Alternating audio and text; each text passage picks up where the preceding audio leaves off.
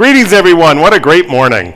Congratulations to Fred, to Landon, to the entire Atlantic Council team that pulled this together. I'm thrilled to be here with these distinguished panelists to talk about a very hot topic at this COP. I, I recently read an article by Vaclav Smil, the noted energy historian, prolific guy. Uh, and th this is a short article, and in the article, he looks at a statement that he says he hears a lot when people say, We put a man on the moon, why can't we solve the problem of climate change? And Professor Smil says in this article, That's actually a very silly statement, he says. And he offers a number of reasons. And one of them, he says, is going to the moon was a discrete project, complicated but very discrete. Solving climate change involves transforming yeah. uh, industrial sectors, economies, and more.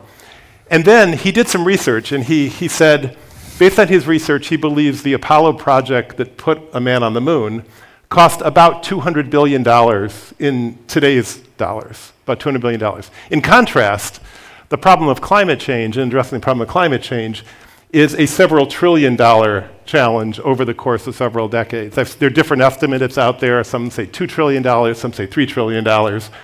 But mobilizing capital at at least one order of magnitude above what it took to put a person on the moon is needed to solve the problem of climate change. And that's what we're going to be talking about in this panel with a particular focus on emerging markets. This has already been a big part of this COP. On the first day of this COP, we had a headline announcement about a loss and damage fund, and congratulations to uh, President Sultan Al Jaber of the COP and others for pulling that together. Um, we had a big announcement on a $30 billion fund, and with a lot more money coming in.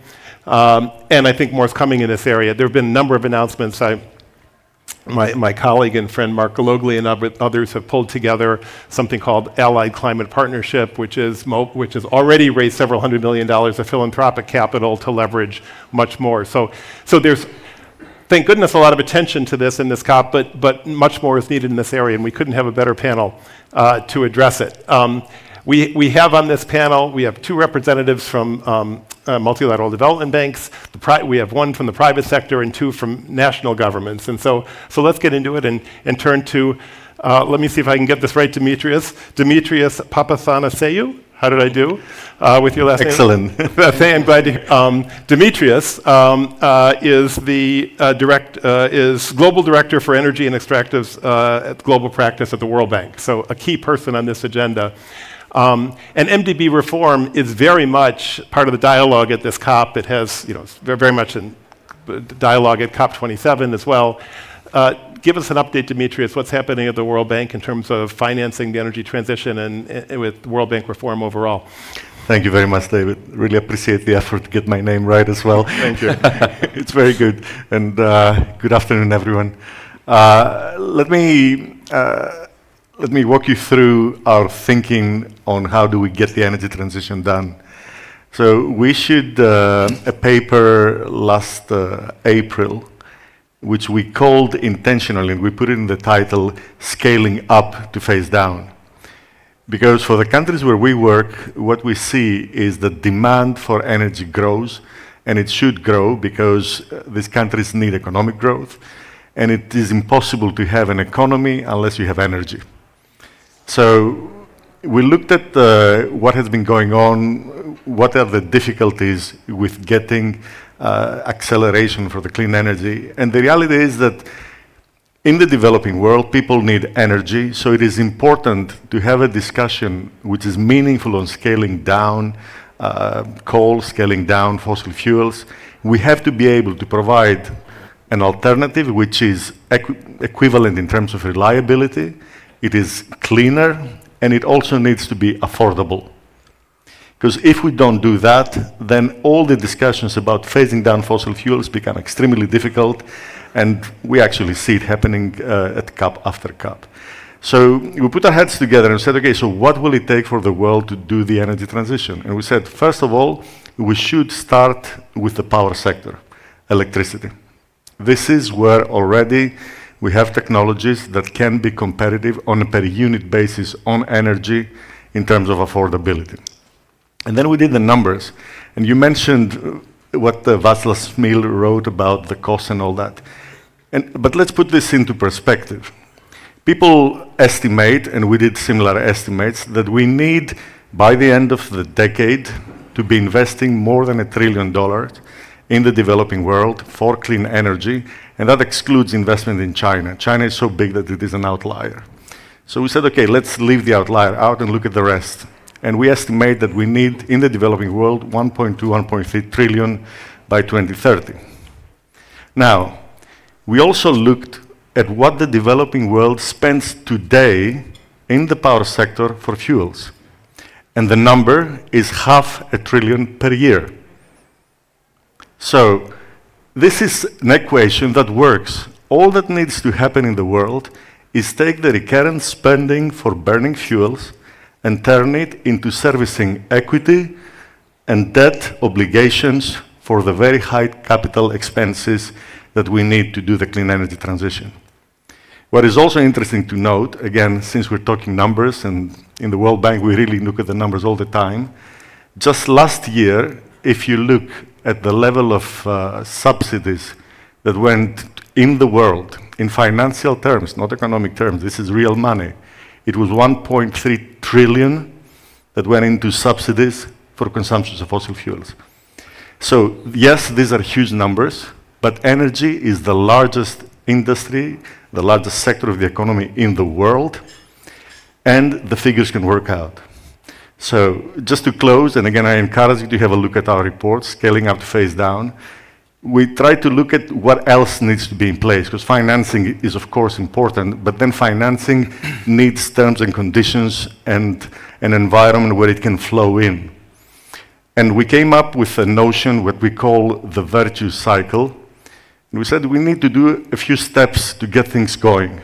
First of all, we need governments to give, to have an ambition for clean energy, give a clear policy signal to the world of what they want to do. Then we need to put in place laws, regulations that will get things going, institutions that are capable, which can then start helping with preparing a pipeline of bankable projects then we as MDBs can come in with our de-risking instruments, with our financings, our guarantees, the, the, fancy stuff that we can do to protect capital.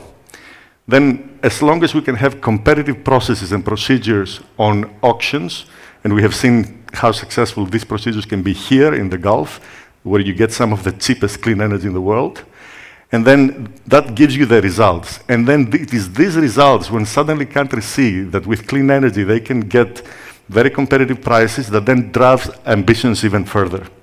And this is not theory. This is what happened in the UK with the offshore wind. This is what we did in practice in India with the solar story, and this is how we can get things going. So let me stop here. Demetrios, thank you very much. Let, us turn to the uh, largest region in the world by population, to Asia, um, and, and to um, Pradeep Tharakan, who's Director of the Energy Transition at the Asia Development Bank. What programs do you have underway? What are you doing with respect to uh, capital, capital availability for um, the energy transition in Asia? Thank you very much, David, and good afternoon, everybody. As you mentioned, I think uh, the Asia Pacific or developing Asia Pacific is really at the forefront of the energy transition. You've got an extremely diverse set of circumstances. You've got countries such as PRC and India planning for export scale hydrogen projects. You've got the largest solar parks and renewable energy projects in the world happening in this, in this part of the region. Um, you also have about 100 million people who are still struggling to have access to electricity. And, and a larger number of those don't even have access to sustainable cooking fuels or sustainable transport. So clearly, um, you know, ADB's got its work cut out. We've got our work cut out for us. So as a result of the, the G20 discussions around capital adequacy framework reviews and MDB reform, um, what we did in 2021 is to essentially put out a new energy policy, and we took a clear stand and said we will not finance coal-fired power generation anymore. So that was a clear position we took. And second is we have um, agreed with the other MDBs to have all our sovereign operations, meaning lending to governments, to be Paris aligned. Um, uh, you know, in the middle of this year, and our private sector operations to be aligned in the next couple of years. And we took a look at our balance sheet and said, okay, we are small. Uh, we need to be strategic, but let's see if we can bring more resources to bear. So with a little bit of uh, you know, financial restructuring and stretching our balance sheet, we've now uh, freed up about $100 billion of, of, new resources to be deployed between uh, the, in this decade. So what that means is our sustainable level of lending goes up from about 22 billion a year to 36 billion a year. Um, I think we also need to put things in perspective, just to pick up on what Demetrios was saying. All of the MDBs together currently lend about three to 400 billion dollars a year across all sectors, not just energy. Okay, and as Demetrios was saying, if you if you include the energy transition needs, that's about two trillion a year. But so the MDBs have a very important role to play, and we can talk about that in more detail. But they can't solve all of the problems. They need to actually, we need to leverage with the with our clients, the public sector, domestic financial institutions. We need leverage with the private sector in a big way. And, and, and we also need to work with new partners such as philanthropies. Um, they're really stepping up to the plate. We see a lot of announcements coming through. But again, an interesting perspective. Recently, McKinsey put out a report that says that less than 5% of philanthropic capital on an annual basis goes towards climate and energy. Mm. A lot of it goes towards education, social sector, um, you know, social development, all important areas, don't get me wrong. But, but it's important that we look at all these sources of finance together. Uh, let, let me stop here. Thanks. Well, let's turn to one important, maybe the most important source of capital, the private sector. And uh, Linda-Eling Lee is um, uh, with the uh, founding director and head of the MSCI Sustainability Institute, which, um, what, uh, Linda, why don't you tell us what you do at MSCI Sustainability Institute and, and how you see this going now? Sure, thank you. It's great to be here. Um, yeah, I, I, think that it's, uh, it's important to kind of provide a different aspect in terms of uh, finance. So MSCI is the largest index provider in the world, so there are nearly $15 trillion that are benchmarked to MSCI's indexes. And within those $15 trillion, we're seeing an increasing um, amount that is actually um, benchmarks that are climate aware or climate aligned, and that's because uh, the world's global um, institutional investors, the largest asset owners and, and sovereign wealth funds and, and, and, investment institutions are increasingly want to manage their um, portfolios um, towards uh, reflecting their views on the energy transition. So we're already seeing that there are hundreds of billions of dollars that are systematically being reallocated um, through these indexes towards companies that are actually improving in terms of their alignment with the energy transition. Now, emerging markets, um, the emerging markets uh, portion of the investable market, publicly listed equities, um, is about 11%. Yeah, so 11% of the global um, public, uh, publicly listed equities um, is actually uh, in emerging markets. And so, to the extent that uh, global institutional investors are now sort of reallocating towards um, uh, climate aware and, and uh, you know, net zero aligned companies, you know, to some of the emerging markets companies that are in the 23 countries that are in the emerging markets index would benefit from that. Um, however, um, there is some barriers. I think that emerging markets um, companies um, have traditionally really kind of lacked the transparency and the disclosure that investors like to have. So in addition to indexes, um, MSCI is also the largest provider of any type of sustainability um, factors, including climate data and models, and 90% of large um, asset managers um, in the world actually use our climate data models um, to, to manage their portfolios. Um, and so what they've traditionally asked for for emerging market companies actually is more around governance-related data that's just been a long-standing lack of transparency that really does actually um, uh, weigh on the, the increases the, uh, the risk premium uh, for emerging market companies. But now they're really asking for climate data, and that's because they really have to look through their entire portfolio because they have to revalue and reprice every asset across their portfolio for different um, permutations of climate scenarios going forward. And they don't have that data. Um, we're beginning to see quite a lot of improvements in terms of corporate disclosure on, on climate related data. Um, in Asia, in particular, I think many of the financial regulators and the exchanges in, um, in many of the markets in Asia um, have actually put uh, mandatory disclosures in place for uh, their companies to, to be able to um, provide the types of climate risk uh, data that's aligned with um, some of the standards that are coming out. The International Sustainability Standards Board is something that is codifying some of the um, some of the, the frameworks around uh, climate di risk disclosure that the TCFD, the Task Force for Climate-Related Financial Disclosures, had put out. So that's a huge win, I think, for global investors in terms of the ability over the next couple of years to be able to have much better um, data. Um, I, I, would also say that the other pressure point, I think, for companies, um, particularly I think in the Asia uh, in the Asian markets, to be paying attention to um, providing more transparency on their, their climate risks um, is that uh, the large multinational companies are having to uh, look at their entire value chain. And so all their supply chain, all the, all the smaller, uh, uh the SMEs that are, that are uh, located throughout um, the, the emerging markets, especially in Asia, are now having to um, disclose and or look at kind of what, what their um, climate impacts might be because they have to report that up to their clients, which are the larger multinationals. Um, so maybe I stop there. Thank you, Linda. And I want to come back to the topic of data, which is very hot and interesting, but, but first go to our representatives of national government, starting with Javier Campillo, who is Vice Minister of Energy at, for the Republic of Colombia. Um, uh, Javier, to what extent is, is financing a constraint on the energy transition in Colombia? And what I know your, your head of state has been very committed on the energy transition. What's happening there? Yeah, thanks a lot. Thanks for the invite. Well, we started a couple of years ago, in about 2014, when we passed the renewable energy law. And we started from a technological point of view. So we started changing our energy matrix. Our energy matrix is, is rather clean, it's mostly hydropower. But in order to achieve our energy transition, we still have a, a large transport sector, especially for cargo.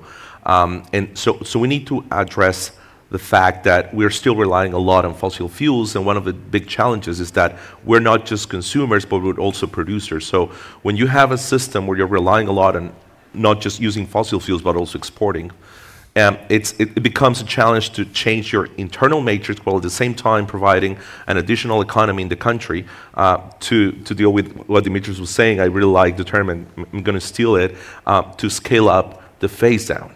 And so we, we have this double challenge. So we, we are addressing our internal economy that still relies heavily on fossil fuels, but at the same time on exporting fossil fuels. So we are working on both areas, but the good thing is that through investments, and we are investing a lot from the government. We're having a heavy private investment. Just to give you an overview, our energy system is about 20 gigawatts in capacity, and the last round of investment for renewables was about 56 gigawatts, um, where we could allocate about 7 gigawatts because you know, our energy system can only take so much. Uh, but that means that there is heavy interest, and we need close to 120 gigawatts by 2050 if we want to, um, we're talking about electrifying our industry and our transport sector. So there is a lot of room for investing, and, and our system in Colombia, we have a lot of renewable sources both in solar, wind, but also geothermal. Um, we still have a lot of small-scale hydropower biomass. So the country itself, it's a large country, and we have a lot of potential all around the country. And, and what we see is that a lot of the knowledge that we have, for instance, on the coming from the oil and gas sector, when, when it comes to offshore exploring, we have the knowledge offshore to shift away from you know fossil fuels offshore to wind offshore, to offshore wind. And, and we just announced here at the COP our first round of investment for offshore wind, for, for example. So what we want here is to use, to use the experience from our companies to collaborate with other companies, with investors to shift away while at the same time creating jobs and reindustrializing our whole economy. Uh, and I know it sounds very ambitious, but we just don't have any other choice. When it comes to coal, for example, uh, we had a couple of years ago, about three, four years ago, um, for the first time in Colombia's history, um, a coal mine uh, was shut down because it was just not profitable for the company who was using that coal. So it's the first time where a company who had the right, the mining titles for coal, uh, and st with still a lot of coal in that mine, and they said, well, it's just not profitable enough, and I'm just going to give it back to the government. And, and we now have the challenge for that whole community to shift away from coal instantly. We didn't have time. We didn't have 10 years to plan to plan it ahead to see, okay, what are we going to do after you know this mine closes? It just closed down. So we're looking at now is we're looking at all this around the country and looking at this as, a, as an opportunity, as an opportunity for shifting away from fossil fuels, but creating a stronger and more sustainable economy for the years to come. So that's how we're looking at it. Thank you, Javier. Last but very much not least, uh, Adam Wang-Levine is, plays a key role on these issues at the U.S. Department of Treasury as Deputy Assistant Secretary for Environment and Infrastructure. Adam, two, two questions for you. First, Vice President Kamala Harris was here in town and made some announcements in this area. Could you share with us what the Vice President announced? And then be very interested in your thoughts on MDBs um, and MDB reform in this area and, and what the U.S. government's uh, approach and policy is at this point. Sounds good, and thank you. And I see class might resume in a few minutes, so I'll try to keep my uh, remarks brief. Um, it's lunch, actually, so that's a real. that's right. Um, so, related to the announcements, uh, Vice President Harris announced two things with respect to the Green Climate Fund and the Climate Investment Funds this week. Um, the first was announcing a $3 billion pledge to the Green Climate Fund, or GCF. And we're incredibly excited about this pledge just because the GCF is the largest multilateral climate fund. And we've actually been co chairing as the US Treasury um, our, in our role with the fund. And we've been pushing forward two things that we're incredibly excited about. The first is recently uh, Mafalda Duarte joined as the executive director at the GCF. And we're very excited about the agenda that she can bring to making the institution even more effective. I think the second thing related to our announcement is the strategic plan for the fund, in which they've chosen to focus on three areas of reform related to providing more access, particularly to lower income countries, as well as better leveraging its resources and balance sheet, and finally, reforming its operations to be more effective. The second announcement that we made was around the climate investment funds, particularly the Clean Technology Fund.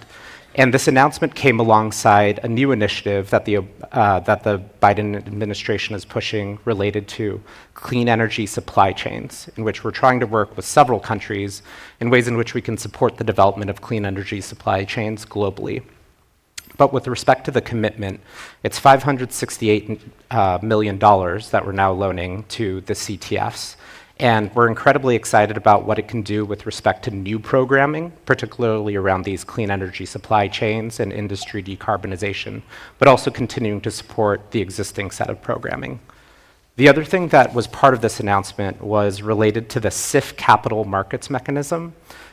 Bit jargony, but it's a new way for the CIFs to access financing from capital markets, which isn't as regular, um, particularly for funds like them. And we're incredibly excited not only for what this can do for the CIFs, but also for what this can do for climate funds more generally in terms of thinking about a new way in which they can access financing. With respect to the MDBs, obviously the Treasury has been pushing a pretty ambitious evolution agenda. Um, just for context, I think our view was in many ways the MDBs were not programmed to focus on global challenges like pandemics, like climate change. And so within the Treasury Department, we've been trying to push forward a four pillar agenda with respect to MDB evolution. The first is can we reform the ways that the MDBs think through its mission, its incentive structures, its operational approaches, and its financial capacity? I think we're already starting to see some of those effects more generally, where we think we're mobilizing at least another $50 billion over the next 10 years in terms of additional financing capacity. But even more specifically within climate finance, I think we're starting to see these changes where in the most recent MDB climate finance report, we actually saw in 2022 that the MDBs increased the amount of climate finance that they provided by $10 billion to reach almost $60 billion. Maybe putting that number into additional context is I think many of us are familiar with the 100 billion target that we have for climate finance. And so I think by many indications, we may already be there. Uh, Adam, thank you very much. Um, I want to come back, as I said, to data, and just partly because it's a topic that I've been thinking about. I, have spent much of the past year working on how we can use the hot topic of artificial intelligence to help mitigate climate change emissions, and just released a report on that two days ago. And one of the conclusions of our report is that data accessibility, availability, and standardization is absolutely essential to using these new tools that are emerging so rapidly. Um, and Ellen, you mentioned data, and, and, data is very central to what you're doing um, at MSCI Sustainability Institute. Um, I wondered um, to, to, what extent is the lack of, you started to get into this, but maybe elaborate, to what extent is the lack of good data a constraint on what you do? And are there ways that, that emerging markets can produce better data to help with financing? Yeah, so um, technology has been has really transformed the sustainability data landscape um, over the last decade, really. And so, because it's always been a very challenging area, so we've always had to use um, the last generation, the NLPs and so the natural language processings and so forth to actually uh, get data, make it more consistent, and QA the data. Now, this newer generation, especially with AI, it's really changing the game.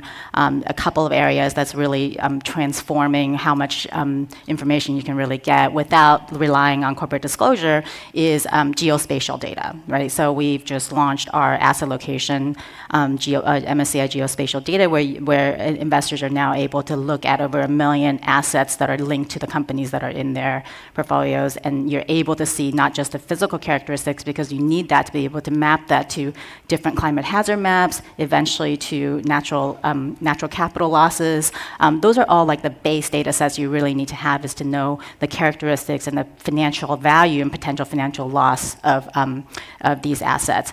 Now, another thing that's really, I think, changing the game um, and that we're going to see a huge amount of more information in emerging markets is um, is because of the language processing skills, so the translation skills. I think that's been a huge barrier in terms of being able to um, capture relevant um, sustainability and climate-related data. And now we're going to be able to do that, um, you know, just through the the power of AI. Uh, there's just going to be transportation data, all sorts of data that is actually locked up in, say, national, um, much more kind of language-based national databases are sort of the, the kinds of things that we're going to be able to access. And so I think that there's going to be an unleashing of this information, and investors really need it because it's very, very difficult to think about reallocating capital um, without sufficient information to make the kinds of uh, repricing decisions that, that global investors need to make. All right, we're down to our last two and a half minutes according to the clock. Uh, let me ask uh, anyone else on the panel, one, if, if this question on data is something that's emerging in, in your world you'd like to comment on, or alternatively, if there's a topic you wanted to get in here but you haven't been able to and you can do it in 20 seconds, please let us know. Demetrios, you're nodding your head. You, so, you go. So I think the, the opportunity that we have and one of the, the good things that is coming up from this COP is the agreement to triple clean energy. And that is the great part. I mean, we've been advocating through our scaling up to phase down. So this is, this is great news. And I think what Linda mentioned in terms of there is a lot of capital that is looking to do the right thing. We know that there's a lot of capital that wants to come for clean energy investment in the emerging uh, markets because if you look at the map, that is where most of the solar resources are, that's where the, most of the wind resources are. So if the cost of technology and deploying the technology is the same, then what prevents things from happening is the fact that the cost of capital is much higher in our countries. So I think the opportunity that we have is that with bringing the MDBs in for the right type of projects and, and in a sense the kind of a stamp of approval that this project has been prepared in the right way and it respects environmental, social and governance uh, issues, that should help us to really unlock additional capital and really leverage our own resources because the MDB resources are limited but the real opportunity is leveraging everyone else. And I think that is what I feel I'm getting from, from this panel as a useful thing that we have to see how can we accelerate doing that as well. Mm-hmm. Please. I could just uh, make a quick plug for transition finance. Just building up on what Dimitri said, we need to do unique things as MDBs. And first of a kind projects is one thing we do very well. The second is everybody wants to finance green, but brown to green, hard to abate sectors, phasing out fossil fuels in an accelerated manner. These are areas where we could do a lot of work. And earlier this week, we did announce an MOU with the Monetary Authority of Singapore um, and GEAPP with the Global Energy Alliance for People and Planet to set up a, a, large fund to support these sorts of transition projects. But we need concessional funding, and that's where corporations, philanthropies, and bilateral donors would be extremely important partners. Uh, Javier, Adam, you've got the last word. Any final thoughts? I really like the fact that we're talking about AI, and I think it's really important right now because changes are happening so fast, and our prediction models and our roadmaps, every country has one, um, they have to be dynamic enough in that in case we have a technological breakthrough, let's, let's say if we find a way to make hydrogen, green hydrogen cleaner and cheaper, we need to adjust those models really fast to change the way we're playing those roadmaps. So it's the, the, the recommendation here is to make sure that our planning models are dynamic enough to be adjustable to the rapid changes that are happening on the technology side? Try to tackle both. Um, so the first on data and AI. I'm recently arrived to the U.S. Treasury. I was previously working in venture capital, so I think there's an incredible amount of exciting work being done here, particularly in academic institutions like Stanford, which I'm alumni of, but also in the um, more official capacities of governments and the private sector. I think there's some interesting work that's being done at the Climate Data Steering Committee with their launch of the Net Zero Public Data Utility recently. Mm. That's worth investigating on the data side. And then I would say, and I think there's something also interesting to look into with transition finance. I would agree with that. Um, and I think this is something that the G20 will also be looking at, and GFANZ has done as well. And my final thing would be on the topic of maybe more blended finance. Um, I think I keep hearing that the public sector doesn't understand, the private sector needs to make its case. I would say we're open to hearing these things. This is an active focus for the Treasury Department coming from the private sector, I definitely want to hear views, and we're actively thinking about whether it's political risk insurance, FX de-risking, things that we can do within the US Treasury or through the MDBs, how we can mobilize private capital. This is an incredibly important area of focus and would welcome your views on that. Please join me in giving a hand to this tremendous panel.